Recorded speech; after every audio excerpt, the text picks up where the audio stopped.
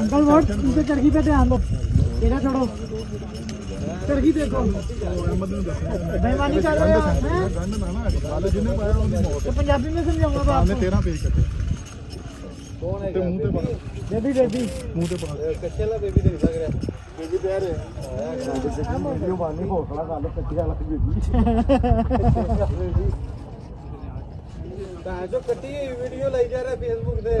ਨਗਰ ਜਿਆ ਤੇ ਤੁਸੀਂ ਸਾਡੇ ਮੁਖਾਲਫ ਹੀ। ਹੋ। जियो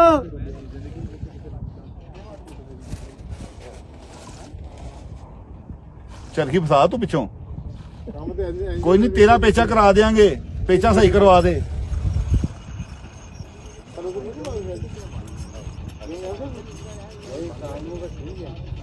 ਤੁਹਾਨੂੰ ਕੰਮ ਜਾਣ ਦੇ ਮੈਂ ਹੱਥ ਜਾਵਾਂ ਉੱਥੇ ਵੀ ਕਰਦਾ ਓਏ। ਇਹ ਲੋਰ ਚੰਗੀ ਹੋਈ ਕਟੇਗਾ। ਪੋਲੀ ਪਾ ਪਹਿਲੇ ਪੋਲੀ ਦੂਰ ਕਰ ਦੇ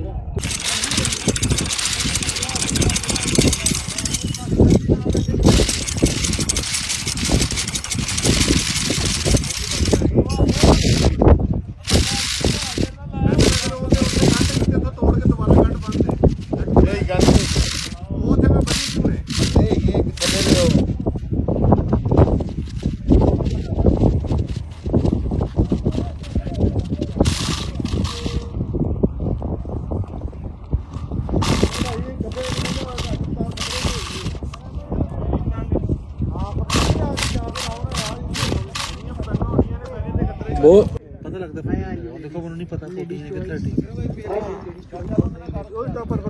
आप लेडीज चॉइस क्यों रखते हैं ये कौन सा है दिखाओ दिखा रहा है ब्लैक एड इसके पीछे दो कैमरे हैं ਇਮਰਾਨ ਭਾਈ ਛੱਡੋ ਨਾ ਨਹੀਂ ਦੌੜ ਸਾਡੀ